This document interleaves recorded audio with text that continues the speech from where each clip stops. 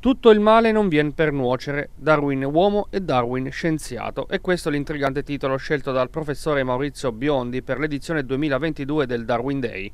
Alle classi del liceo scientifico Filippo Masci, che tradizionalmente partecipano all'evento, si sono aggiunti infatti una classe di prima media della scuola Antonelli di Pescara, il liceo Maior di Pescara e l'istituto Volta.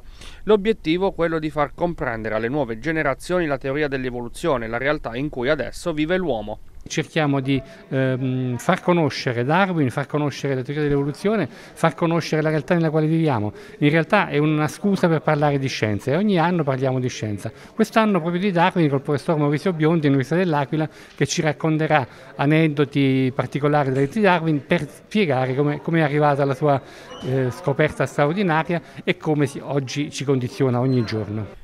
Non è la specie più forte che sopravvive né la più intelligente, ma quella che risponde meglio ai cambiamenti. È la citazione che in questo periodo si legge spesso. Per molti questa frase però non è mai appartenuta al papà dell'evoluzione, che riprese dal filosofo Spencer nel 1869 definendola più accurata per spiegare il concetto di selezione naturale. Questi ultimi due anni abbiamo vissuto un, un periodo veramente terribile con il, il, Covid, questa pandemia che ci ha condizionato in maniera tremenda e continuiamo a comportarci come se, fosse, come se fossero altri problemi. Occorre cambiare strategia e la pandemia ce l'ha detto, occorre puntare al benessere individuale, a un ambiente migliore, salvaguardare la terra perché noi senza la terra non possiamo vivere ed è inutile che parliamo di conquista della Luna, di Marte delle, delle stelle perché ci vorranno millenni, l'uomo non farà in tempo se prima non salva la terra.